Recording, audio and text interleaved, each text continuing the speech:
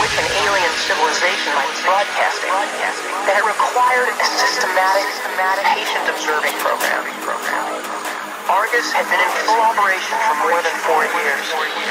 There had been glitches, intimations, false alarms, but no message. All 131 telescopes of Project Argus were controlled by computers. The system slowly scanned the sky on its own, checking that there were no mechanical or electronic breakdowns, breakdowns, breakdowns, breakdowns, breakdowns, breakdowns, breakdowns, breakdowns, breakdowns, breakdowns.